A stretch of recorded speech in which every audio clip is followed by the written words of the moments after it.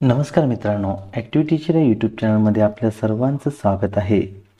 हेतू अभ्यास इयत्ता सहावी दिवस तेरावा पर्यावरण आणि आपण भाग दोन.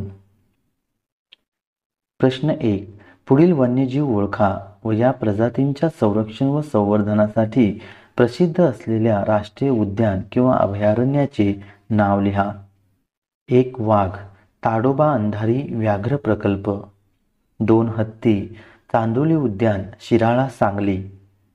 तीन मोर मयुरेश्वर बारामती पुणे. चार माळढोक नानद सोलापूर. पाच गेंडा काझीरंगा आसाम.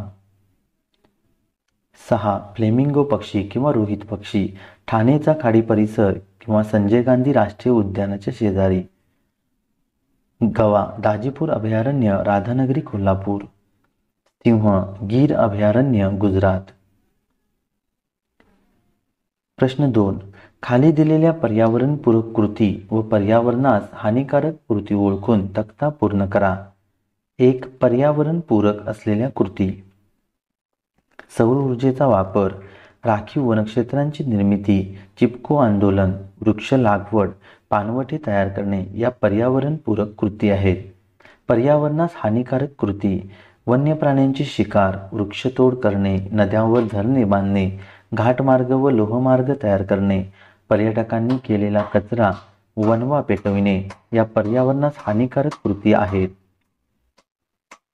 अधिक माहिती घेऊया. चित्रातील प्राणी ओळखा. हा प्राणी नामशेष होण्याची कारणे काय असावीत असे तुम्हाला वाटते?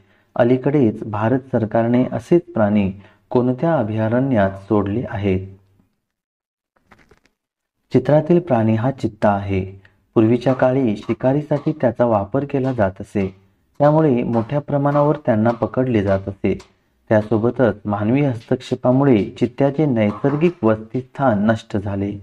तसेच चित्त्याच्या उत्क्रांतीत विसंगती दिसून येते. वेगाने पळण्याकरिता शरीराची उत्क्रांती होत गेली परंतु शरीराची ताकद मात्र गमावली. त्यामुळे स्वतःच्या पिल्लाचे रक्षण व भक्ष्याचे रक्षण करणे कठीण जाते. या कारणांमुळे हा प्राणी नामशेष झाल्याचे दिसून येते.